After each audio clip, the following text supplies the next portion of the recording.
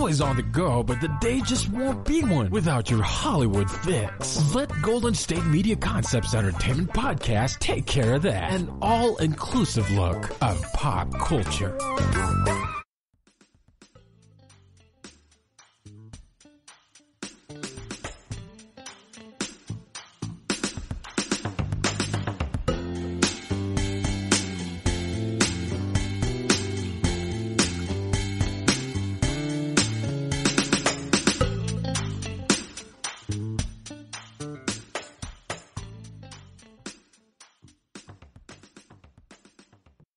Thank you for tuning in to the GSMC Entertainment Podcast brought to you by the GSMC Podcast Network. I'm your host, Jessica, and I'll be sharing some of the top entertainment news that you just need to know right now. But before we do, I want to say that as we record this, it is Labor Day weekend.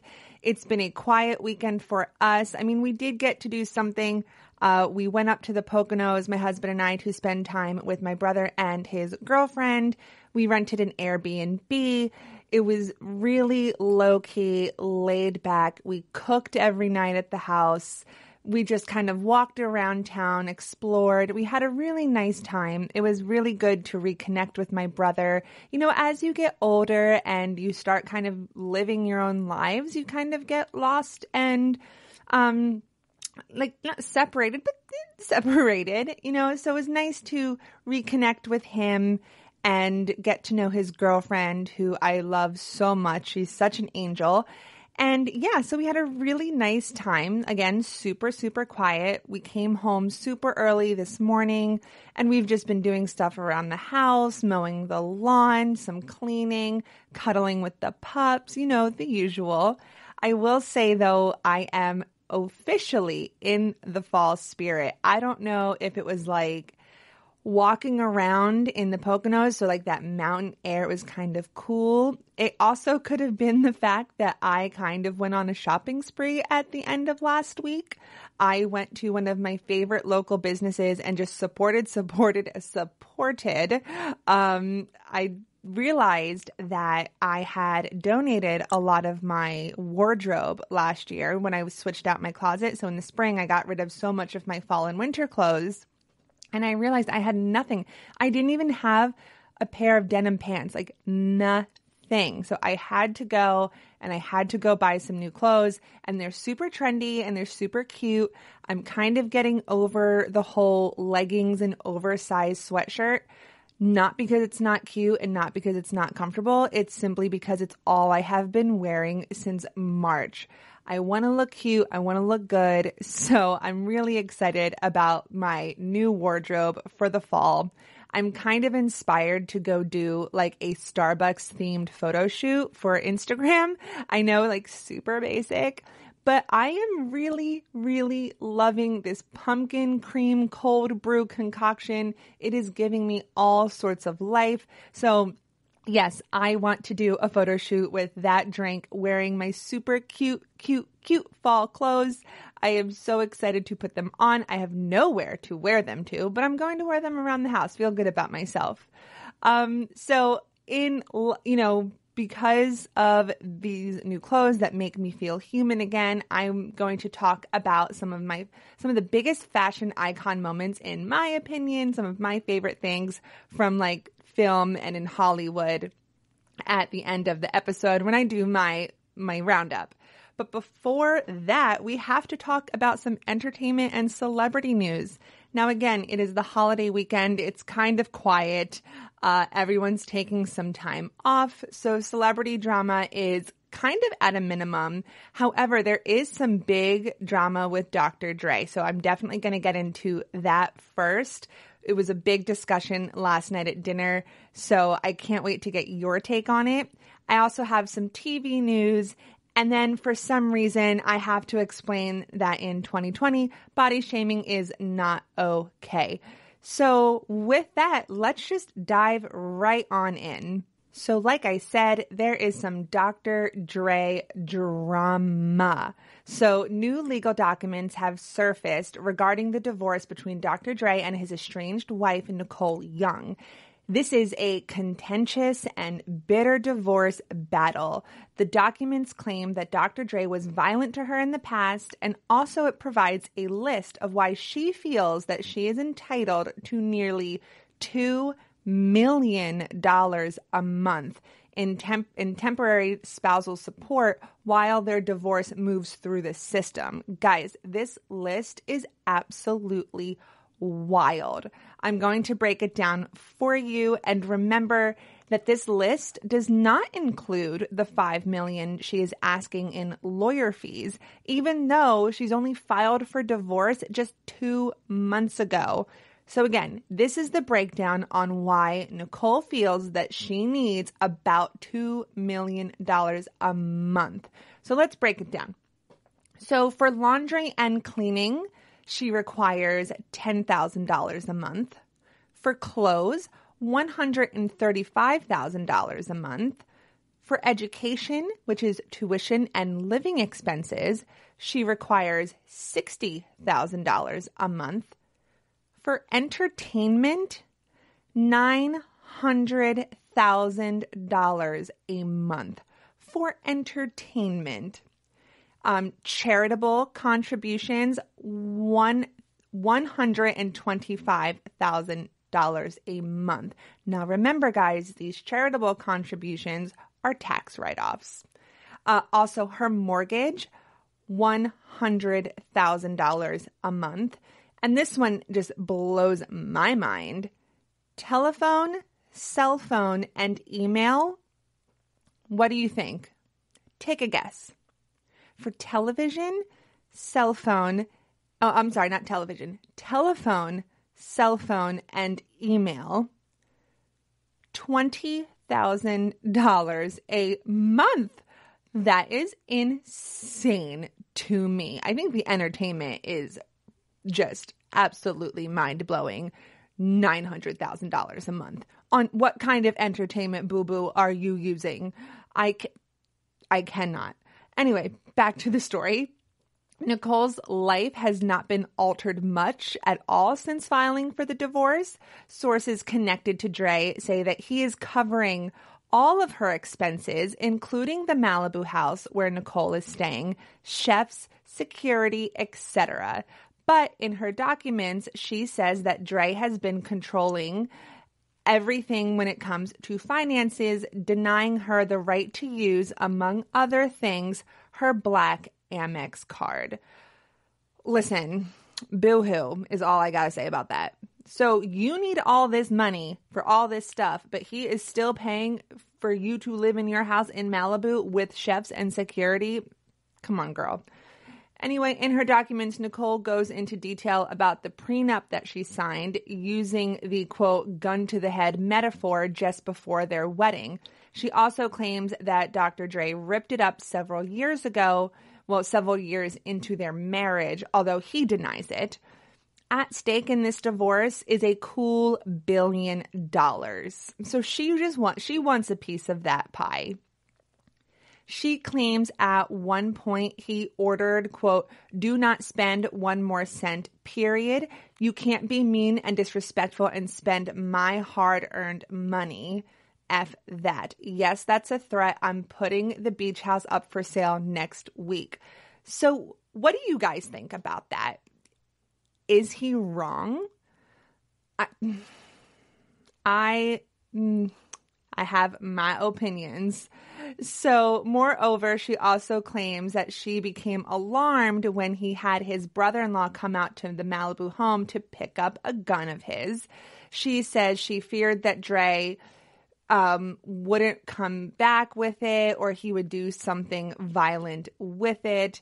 He uh, allegedly sent her text asking why that why she was ignoring him and should he come over. So he's trying to like instill this this fear in her. Now, listen, this is turning into quite the divorce battle between the two. And I'm just sitting here in shock that Nicole needs about $2 million per month to survive. That is insane to me. And it is so incredibly out of touch. And battling for the 2 million even though she's still living at home and she has these chefs and that they're all still being paid for. I mean i think dr dre kind of has a point. It's his hard-earned money at the end of the day. Why does she feel like she can spend spend all of that money? And an excessive amount of money I know that when you are married, you are a team, but I want to know what she was doing, you know, as a team member while Dre was out there working for his fortune. It's a team, but do you deserve 2 million a month simply because you were married? And if he was working while was she on vacation? Like what was she doing while he was working? Not for nothing, but like I think Dr. Dre is right. And from what it sounds like, it doesn't sound like Nicole is caring for a household, like being a like a housewife or trophy wife. Like she's just out spending two million dollars a month. I, she's like again, she's not caring for house because she has employees that are doing all of that. I find it so difficult to have empathy for the wealthy. I really, really do. And I mean, come on, $20,000 a month for your telephone and cell phone and email? How? How is that even possible? Can someone please message me and explain to me how that is possible? Google is free. Google is free. $20,000 a month, that's $240,000 a year on your phone and your email. Like, even if you were to like upgrade your like Google like storage to like a terabyte, it does not come anywhere near $20,000 a month. What kind of cell phone are you use? Are you buying a new cell phone every single day? Are you buying a new cell phone several times a day? I don't know where this money is going. And who they're going to present this in front of a judge and who's going to sit there and be like, "Yep, that makes sense. That's totally fair. You can have all that money." That is in insane to me. Again, I have no empathy for the wealthy at all when it comes to something like this. If you feel that you need $2 million a month in order to survive, because newsflash for you, there's a lot of people out there who will never see $2 million in their lifetime and you need it in a month. I think that's disgusting. I do not like it and I do not support it. I listen, I'm all about women supporting women, but not in this case, not at all. And there, I have said it. It might be controversial, but here I am. So, anyway, Nicole, good luck to you. Dr. Dre, I hope you keep your fortune. Do not share it with her. She is greedy. Maybe put her to work and have her earn a dollar once would be wonderful. So, whew. anyway, that is my opinion on that. I wish you could have heard us around the table last night talking about it. So yeah. Oh, I just scrolled up on my notes and I just saw this $900,000 a month on entertainment. I need a breakdown of what is entertaining her for a month, especially, especially during a lockdown. I would love to know. There are fires in California. We are in a pandemic. What are you doing for $900,000 a month in entertainment? I guarantee you there's a home entertainment system in your house. How much are you paying to rent movies? Netflix is what, seven bucks a month? Okay, maybe nine? Hulu, how expensive is that? How expensive is Disney Plus? How entertained do you need to be these days? go outside, read a book. D- come on, this makes me sick to my stomach. um, anyway, I need to stop talking about it because I am going to drive myself absolutely insane. So we're going to take a quick break. When we come back, we're going to talk about some TV news and then we're going to talk about why it's not good to body shame people. I understand this is probably a foreign concept for some people, but I just have to say it. And then at the end of this episode, I am going to recap some some of what I think are some of the most iconic fashion moments in television and movies, you know, in Hollywood. So stay tuned for that. It is a fun, fun list, and I give you some insights as to who I am as a person. Um, so stay tuned, guys. We will be right back. Want to find out what movies to go see? Then check out the GSMC Movie Podcast. It's your ticket to the latest movies, whether it's a new blockbuster event, romantic, comedy, or action flick. This show has got it all covered. They talk some what to go see now. Don't bother. What's hot on Netflix and everything in between. That's gsmcpodcast.com backslash movie dash podcast. When it's all about the movies, it has to be this new show. Don't forget to like them on Facebook and follow them on Twitter. Visit gsmcpodcast.com for more info.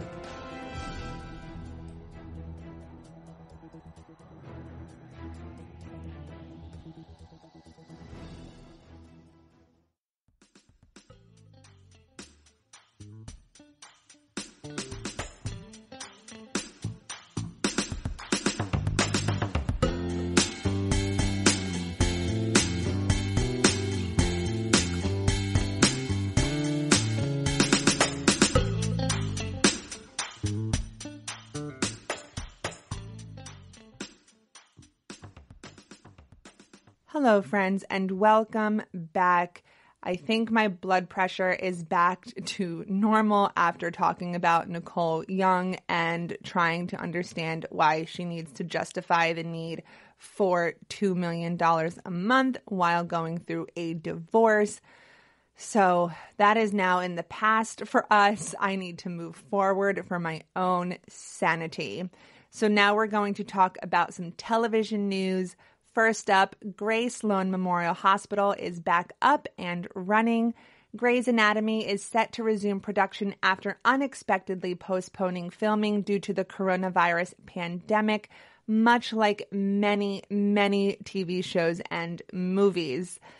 Filming for season 17, I cannot believe already, like we're in season 17, will resume on September 8th in Los Angeles.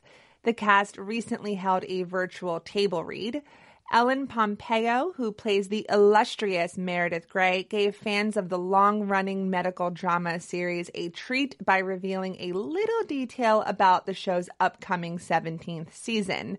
Pompeo took to Twitter to tease, quote, Yes, I have a new favorite couple, not sure what you'll call them, but they are adorable. You guys are going you guys can have fun guessing who. A fan later asked Pompeo if her favorite new couple was Maggie and Boyf, to which the actress responded affirmatively, Ding, ding, ding. You guys, you have no idea how adorable they are, Pompeo wrote on Twitter. So, spoiler alert Near the end of season 16, we saw Maggie Pierce and Dr. Winston in a romantic entanglement after meeting at a conference. I love that entanglement, by the way, is now how we describe uh, relationships. So that's fun. Anyway, so season 17 of Grey's Anatomy will also incorporate the biggest medical crisis in decades the COVID 19 pandemic. During a Television Academy panel in July, executive producer, producer and showrunner Krista Vernoff said Dr. Meredith Grey and her colleagues, who have treated all manner of emergencies over more than 350 episodes, will have to face the coronavirus and its medical and human consequences. Vernoff said discussions with real doctors have highlighted the emotional toll an element likely to be reflected in Grey Sloan Memorial Hospital's medical staff's response to the pandemic. Listen, I absolutely adore this show. Has it done me dirty in the past? Absolutely. But I am in this for the long haul. I have been a fan since it first came out. I remember like the teaser commercials for it. Uh, since we don't have any cable, I don't watch in real time now like I used to, but I do binge the seasons, but like season at a time. So I will wait for everything for the whole season to air and then I will just pick a day and just lose it by just binge watching the entire season. Grey's Anatomy is like the days of our lives, or better yet, the general hospital of our generation over the weekend, I was having a conversation about this with my brother's girlfriend, and we were just talking about the show, the characters, and who's been written off, who like how they did some people dirty with the write-offs are insane. I will never forgive them for what they did to Karev. I never, but I'm still watching the show, still in still in it for the long haul. Um, and as we were talking about it, like the sentences that were coming out of our mouths were insane. Like my brother and my husband just like looked at me and like looked at us like we were insane talking about like plots and storylines of the show. The Grey Sloan Memorial Hospital is an intense place to work. Like I said, I couldn't believe some of the sentences that were coming out of my mouth. But the main theme that we both kind of took from this is that we just miss George O'Malley. He was just way too pure for that world. But I love the OG George O'Malley. He was such a great character. I miss him so much. And it's so weird that after 17 seasons, I still miss one of the first write offs from the show. Wild.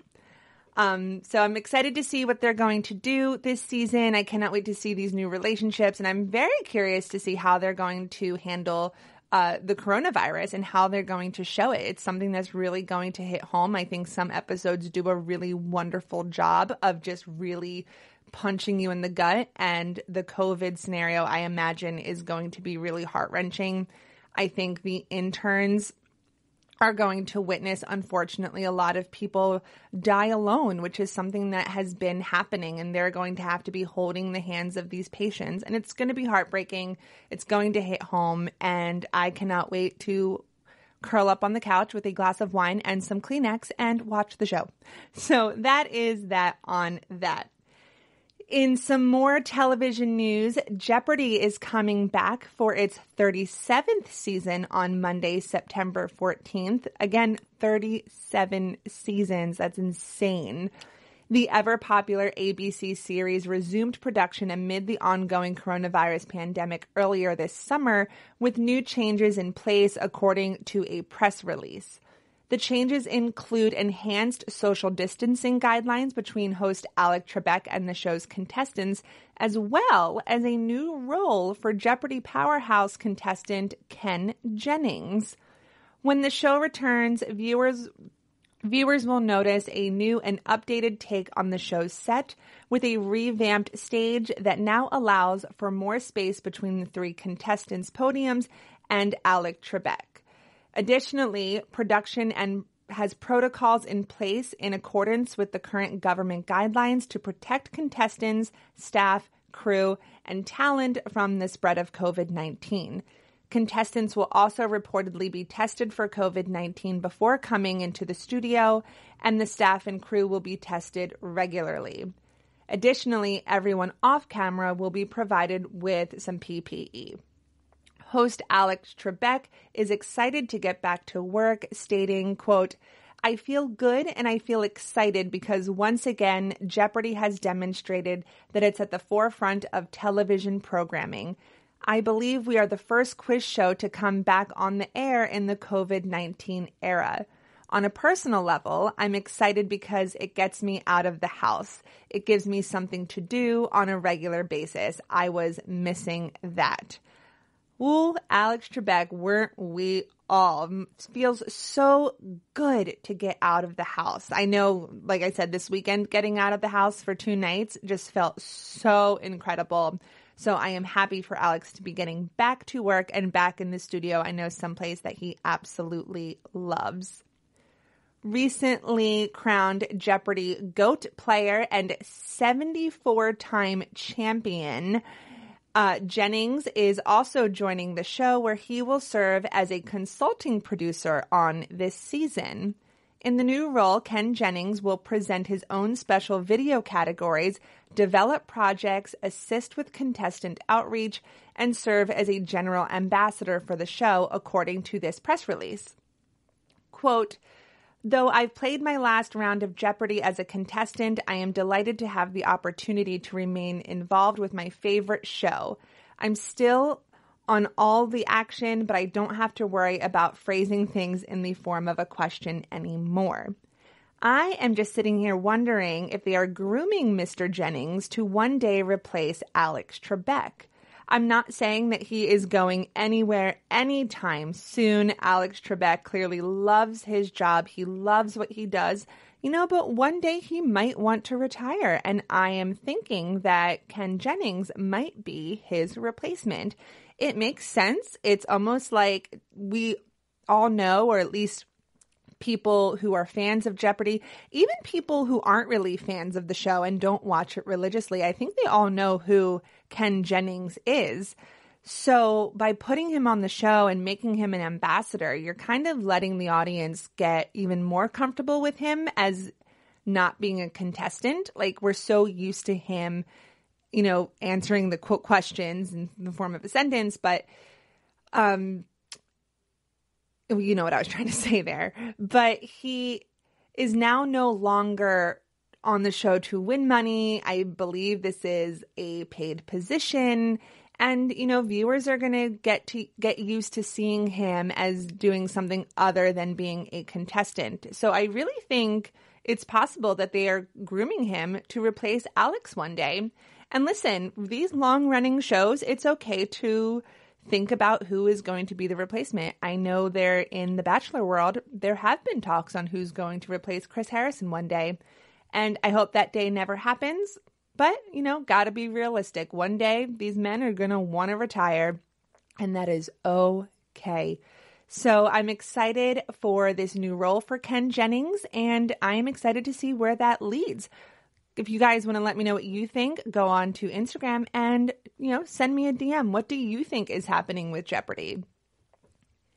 And finally, the last little piece of television news, kind of sorta, it's with one of the famous faces in television. I feel like we just finished talking about trademarks the other day, but Kim Kardashian West just trademarked KKW Home as she looks to expand her empire with a line of home goods. So I can totally picture Kim expanding into home decor. Absolutely. I know a few episodes ago when we talked about the trademarks, a lot of the Kardashians and Jenners just go ahead and trademark a bunch of things in case they ever want to pursue that line of work. But Kim doing home decor is something that I really, really picture her doing more so than any of her sisters. I can totally picture like releasing vases, candles, area rugs, and even hardware in that minimalistic and nude style that she is very famous for. It's not my particular style for a home, but I know a lot of people absolutely love that minimalistic look and they do idolize her home. They love that whole clutter free. Uh, I really am kind of looking forward to see what she's going to produce. I would love a KKW vase, um, but she's not all into clutter. So I think everything that she does do under KKW Home are going to be useful and not so much knick-knacky. That's why I bring up hardware. I can definitely see her having a hardware line, um, like for sinks and for cabinets just again, no knickknacks. Everything that she's going to produce, if she does go down this, you know, down this road, which I think she will, I don't think it would be a headline if she wasn't, but everything will be practical and will be something that you use. No knickknacks. I don't think she's going to come out with wreaths. I will be very shocked if she comes out with wreaths. I love wreaths. Don't get me wrong. I think they're great and they're beautiful and they're seasonal and they're fun. I just don't see that's her vibe. So that is that. Who knows? Maybe we're going to see KKW home at a Home Depot or a Lowe's or a Target. Ooh, a Target line. Her and Chrissy Teigen together in Target. How much fun is that? Now, ooh. Oh, the more I think about it, the more I love it. All right, I can get behind this, Kim. I totally, totally can. So, anyway, that is all I have on the TV news. So, we talked about Dr. Dre, we talked about things that are going on in television that I am looking forward to. And then now I'm the next segment, I'm going to have to yell at some people. I didn't want it to get to this point, but here we are. We're going to talk about why it's not okay to body shame somebody in 2020. Can't believe we have to have this conversation. Um, but I wouldn't be doing my job if we didn't discuss this. And then finally, at the end, I am going to be sharing with you some of my most favorite iconic fashion moments in the entertainment world. You are not going to want to miss it. I will be posting all of those pictures on Instagram because it's kind of hard to do a segment without the pictures that go with it, but I will do my best to describe these outfits. Anyway, guys, be right back. Tired of searching the vast jungle of podcasts? Now listen close and hear this out. There's a podcast network that covers just about everything that you've been searching. Hey! The Golden State Media Concepts Podcast Network is here. Nothing less than a podcast bliss with endless hours of podcast coverage. From news, sports, music, fashion, cooking, entertainment, fantasy, football, and so much more. So stop lurking around and go straight out to the Golden State Media Concepts Podcast Network. Guaranteed to fill that podcast itch. Whatever it may be. Visit us at www.gsmcpodcast.com. Follow us on Facebook and Twitter and download us on iTunes, SoundCloud, and Google Play.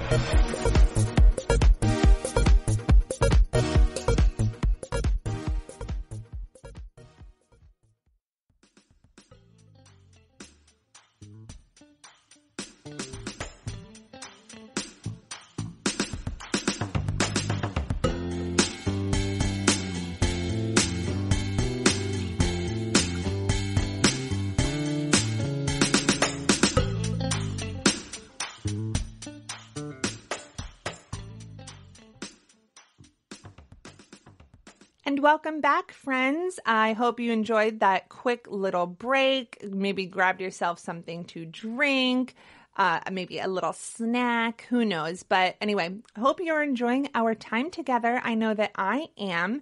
We talked about Dr. Dre, we talked about TV news, and now we're going to talk about something that I don't want to talk about, but we have to talk about. Guys, body shaming and age shaming is not okay, people. I can't believe that it's 2020 and you still have to be reminded of that. Well, not you in particularly, but maybe you know someone. Um, so I bring this up because Kaitlyn Bristowe experienced a moment of weakness as her reality TV comeback on Dancing with the Stars quickly approaches. This past weekend, the former bachelorette shared a photo of herself in tears on her Instagram story about the criticisms that she's been facing over her physical appearance. She says, quote, I forgot how mean people are when you go on TV. Just so many, she looks old and plastic comments everywhere. You win today, trolls. It got to me. In a follow up video on her Instagram story, Bristowe, who is among the celebrity contestants on season 29 of Dancing with the Stars, explained the emotions she was feeling. Quote, I had a good cry, didn't somehow ruin my eyeliner. I honestly am so tired that anything will set me off right now. Plus, I am PMSing, so great combo but I felt my feelings. I got it out. Sometimes I like to be honest on here, but not always be woo happy. I had a weak moment, cried it out, felt it all, now poured myself a glass of wine and remember what's important in life. In a recent interview with People TV's Reality Check, Bristowe said that she is feeling a lot of pressure ahead of the Dancing with the Stars premiere. So, guys, I literally have no idea who needs to hear this. I don't know. But body shaming is not okay. It's not okay today. It's not okay yesterday. And it's not okay tomorrow. Never. Don't ever, ever, ever do it. Just don't do it. Do not do it. I feel like people feel that they can so easily hide behind their screen, whether it's a phone, an iPad, a tablet, computer, whatever has a screen, people feel like they could hide behind it. I went and read some of these comments on Twitter and Instagram. People are downright vicious. Social media has somehow normalized being cruel to others. And when I say like the troll is like called out, they tend to say like a troll, if a troll gets called out, right? If someone says like, oh, you don't have to, you're just being a troll. You don't have to like go after so and so's appearance they always come back with the same ridiculous comment of if you put yourself out there, you're bound to have criticism against you. Like, okay, congratulations, you know, a four syllable word. And second, yes, That is correct. Everyone is entitled to an opinion, but to take the time to write something on social media, on someone else's social media page that you most likely follow, or else how else would you see it, is so disheartening. So for those of you who don't know or aren't like down with the lingo, Trolling is defined as creating discord on the internet by starting quarrels or upsetting people by posting inflammatory or off topic messages in an online community. Basically, a social media troll is someone who purposely says something controversial in order to get a rise out of other users. Now, listen, I have plenty of opinions, as some of you may know. But I would never, and I could never, actively post on someone's accounts these nasty, vile, and vicious comments. So let's take, for example, I am not a fan of Justin Bieber. Not a fan. And that's okay. It's okay to have this opinion. Not everybody needs to be a fan of everybody else. But guess what? I just don't follow him on social media. That is literally it. Done. It is a non issue. I don't comment any of my opinions and I don't attack him. It's literally that easy. I don't know. It's insane to think that something can be so simple, but I promise you it can. So, to any trolls listening or people who think that they're out there just speaking the truth, how about you put that same exact energy into being a better person rather, rather than cutting down someone you have never met? It just boggles my mind that people can go online and go to someone's Instagram page or go to someone's, you know, story and hit the reply button or the comment button and write these terrible, terrible things or insult these, like, insult, insert these, like, vomiting emojis. Like, who hurt you? Who destroyed you so bad that this is what you do in your free time. Because realistically, you're probably just sitting on the toilet and you probably have nothing better going on in your life. So you feel like that's what you do. I don't know if it's to feel better about yourself. I don't know if it really is just to like get a rise out of people. I mean, it's so sad that Kaitlyn Bristowe had to address the trolls, had to address the people that were commenting on her lips or her filler or her Botox. Well, guess what? She uses Botox and she's very, very open about it. And it is not your decision on how she looks. And oh, did she get older from when she was on The Bachelorette? It's so crazy how time works because everybody literally just gets older. That's what time does. I don't, that might be a news flash for you. And I'm sorry that I'm the one who had to break that news to you. But when time moves forward, we get older, just the way it is. And to be honest, you know, society doesn't make it easy for women to get older, which is why we do the Botox, which is why we do the fillers, which is why we dye our hair. A lot of times, brunettes will dye their hair blonde to hide the grays because for some reason, people don't like it when women have gray hair. I didn't make the rules. So we have us as women, we have so much pressure to always look perfect, to always look young because you guys have made it seem like if we don't look young, you're going to go chase someone younger. So we're conditioned to that, first of all. And plus, to make it in Hollywood, it you do have that pressure to be young, or else they're going to go for the next best thing. So whatever, you don't have to comment on it because you're just making it worse. And it, so just mind your own business and let us all live. Let us all live our best lives. You don't need to be a troll. So that is my opinion on that. And I feel like having an opinion against trolls is totally okay.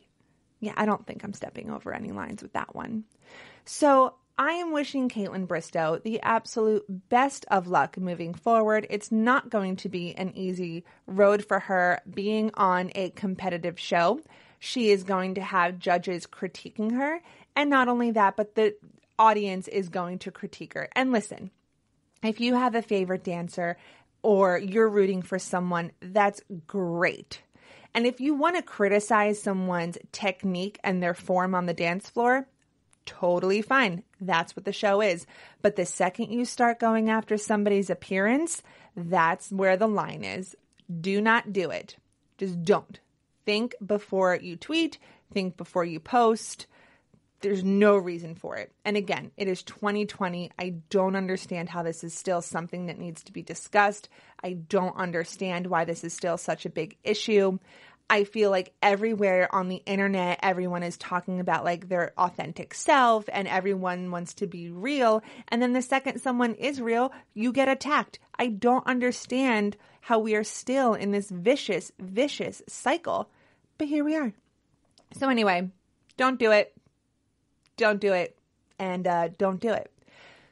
So that are those are the topics that we have talked about today. We talked about Dr. Dre. We talked about things that are happening in the television world, and we talked about why it's not okay to body shame or age shame people. Just don't do it. Uh, next, we're going to go and go back into the lighthearted things. I am going to share some of my favorite fashion in the entertainment world. Guys, stay tuned. You're not going to want to miss this. Be right back. Golden State Media Concepts bring you Book Review Podcast, a haven for bookworms of all ages and the widest genres from mystery to memoirs, romance to comedy, fantasy to sci-fi. If you love to read, this is the podcast for you. It's the Golden State Media Concepts Book Review Podcast.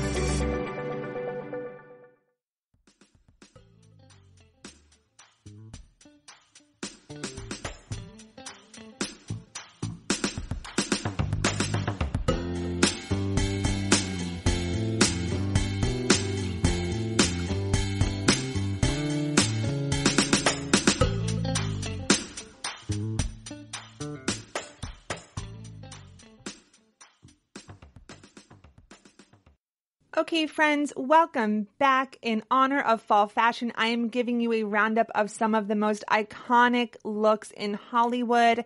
These are all my opinions. Again, this is one of my favorite parts of the episode where I feel like you can kind of get to know me. Um, so again, these are the top 10 outfits that I just absolutely adore in Hollywood. All pictures will be posted onto my Instagram account at GSMC underscore entertainment. This is a trend that I have seen on TikTok outfits that you just find yourself constantly thinking about. So, this is my roundup. So, please go check it out, follow, like, comment, do all of the things. Just no body shaming. Um, so, let's get this started. So, at number 10, I have Marge Simpson in a pink Chanel suit of The Simpsons. As a kid, I watched The Simpsons all the time. I feel like this pink Chanel suit was like my fashion awakening. Yes, even though it's a cartoon. Plus, I'm a sucker for the pink and black combo. I loved it in elementary school and I am still in love with it today. Like, put me in a pair of black leggings and an oversized baggy, like light pink, hot pink, any shade of pink t shirt, and I am feeling my absolute best self. I mean, if I could have this pink Chanel suit in my closet, I mean, I would own it 100%. It is so my style. It is classic. It is beautiful. Yes, I am aware that it's a cartoon. I love that episode. I love that outfit. Marge, mwah, chef's kiss. Love it. So, number nine, I have Hallie's pink velvet mini dress from My Date with the President's Daughter. Now, I'm probably aging myself a lot with this outfit. My Date with the President's Daughter was a made for TV movie which came out back in 1998. This dress, to everyone who grew up in the 90s, is so iconic. I think every girl knows exactly what I am talking about. And if you don't, head over to our Instagram account right now and take a look. It is so amazing. The dress would make such a comeback today. It would fly off the shelves. I mean, someone out there has it, and I'm here to say that I need it. Number eight, I have Harry and Sally's respective chunky sweaters from when Harry met Sally. Not only is this an iconic and perfect movie, but the sweater game is just unmatched. Now, now that we are here in like pumpkin spice season, pretty much like we are going into full force pumpkin spice season. I am getting ready to break out all the sweaters or whatever I have left or what I have recently purchased. And I could only hope to look as fantastic as these two do. It is simply exquisite. Who knew that I would be just sitting here talking about sweaters, calling them exquisite? But, you know, today is the day. So number seven, Jennifer Lopez in her Versace dress from the Grammys in 2000. So 20 years ago, even though you might not have been around in 2000, but I'm sure that you know exactly what dress I am talking about. It is the green one with the insane plunging neckline and the slit and it's sheer. Yes, that one. This dress changed fashion on the red carpet. This was the dress heard around the world.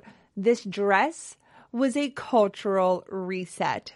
This dress is everything. Often imitated, but never duplicated. I mean, Jennifer Lopez, when she picked this to like step out onto the red carpet, that was probably one of the smartest decisions of her career. It is purely iconic. Number six, I have Lupita Nyong'o's baby blue Prada dress from the 2013 Academy Awards. I don't know why I said Academy that way.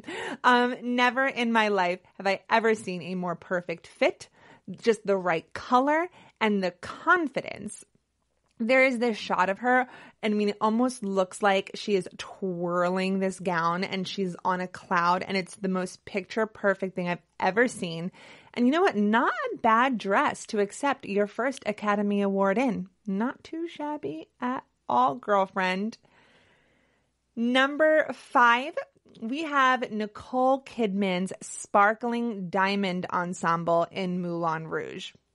Now let me tell you something about Moulin Rouge. The fact that I do not own this getup is just beyond my comprehension. Number one.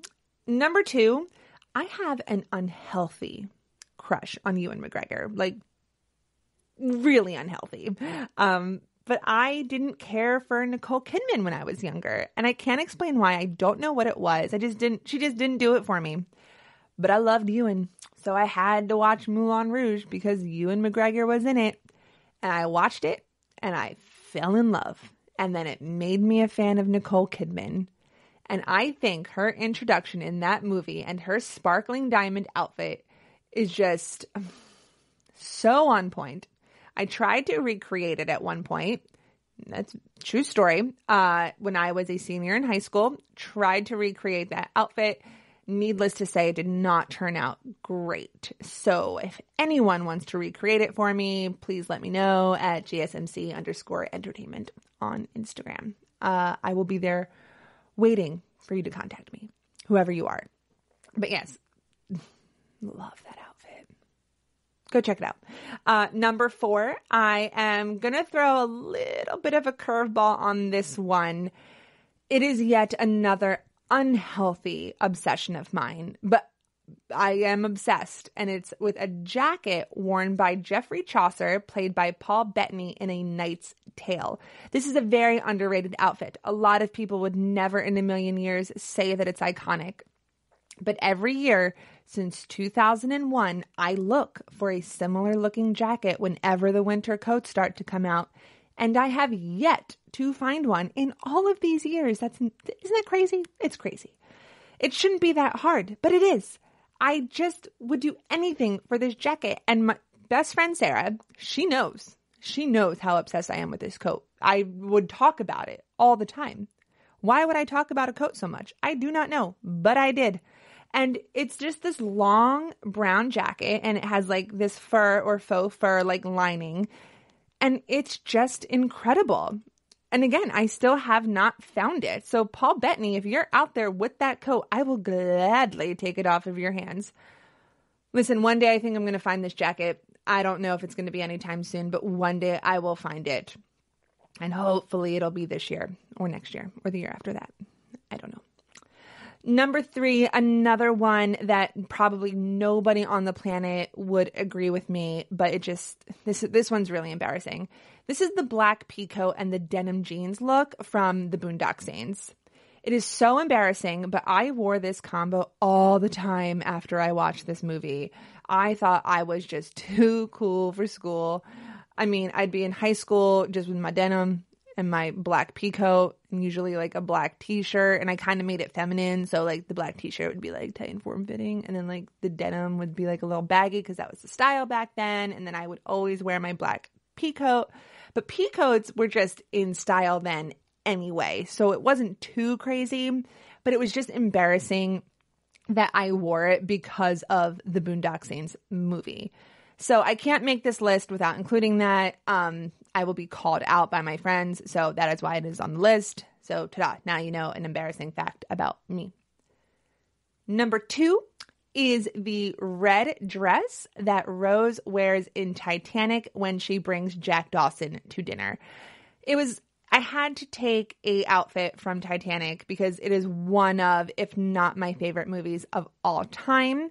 She looks incredible in everything that she wears, but there's just something about this red dress and the black beading and how she goes from this super formal life in one part of the night and then goes into Jack's like laid back life in the other portion of the evening. It is just just incredible. She Kate Winslet looks incredible in it. Her hair is beautiful.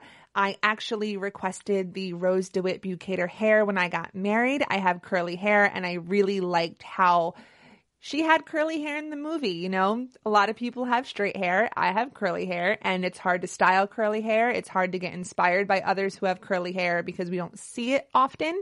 So I wanted rose hair. Fun fact, um, what made me happy is that people did come up to me and say, "You have your hair looks like Rose from Titanic," and I was like, mm, "Thank you." But anyway, love her hair in this part. It was an inspiration of mine. It was how I could be like her. She's so beautiful, so iconic. Every it's just beautiful, beautiful, beautiful. Everything about it is perfect, and I will fight anybody who says or implies otherwise. And number one, I do not think you can have a list of iconic Hollywood fashion without this one. If you don't know what it is, please take a guess. Take a guess as to what I'm going to say is the number one most iconic fashion of Hollywood from a movie in the 90s. Guys, it's the yellow plaid outfit, or pretty much every outfit that Cher wears in Clueless. I mean, the white Calvin Klein dress, the red Alaïa dress, and the matching jacket, which is totally my style. Even the pistachio colored outfit with the fur lined sleeves. Everything she wears just looks incredible. She has influenced an entire generation, and for that, I am forever grateful. Her outfits will always live on and they will always be the most iconic. I mean, she just, everything she wears in that movie is incredible, but that plaid yellow outfit. I mean, everyone who sees it knows exactly what movie it is. They can place her. It's just great. It's, I want one. I don't have one, but I want one. Um, but anyway, that is definitely the most iconic. I really love the white Calvin Klein dress. And then when her father asks her to cover up, she just has like that sheer cover up, that white sheer cover up that she puts on afterwards. I think that is probably one of my favorite looks in the movies. And then definitely like the red dress with the matching jacket that's like all like poofy and super like form fitted at the waist and then like poofs out.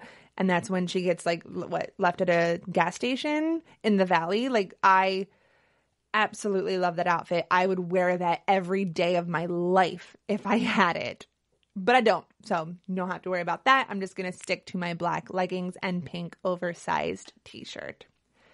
So, guys, that is the show today. It was pretty laid back. It was pretty easy. Again, a nice quiet weekend. I hope everyone, as you're listening to this, I hope you had a nice and relaxing Labor Day weekend. I hope you got to spend it with maybe family you haven't seen in a while or friends. And I hope that you socially distanced and were responsible. So, and now, you know, summer has ended and fall is fall is here, guys.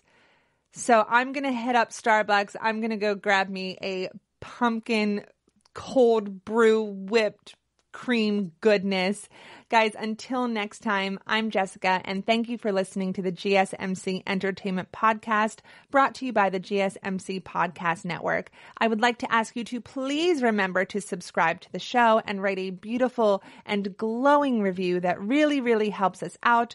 Also, if you can please follow us on Facebook, Twitter, and Instagram, I would really appreciate it. Let me know what you guys think of the show. What would you like me to talk about? Guys, thank you so much and have a wonderful, wonderful night. Bye bye. You've been listening to the Golden State Media Concepts Entertainment Podcast, part of the Golden State Media Concepts Podcast Network. You can find this show and others like it at www.gsmcpodcast.com. Download our podcast on iTunes, Stitcher, SoundCloud, and Google Play. Just type in GSMC to find all the shows from the Golden State Media Concepts Podcast Network, from movies to music, from sports to entertainment, and even weird news. You can also follow us on Twitter and on Facebook. Thank you, and we hope you have enjoyed today's program.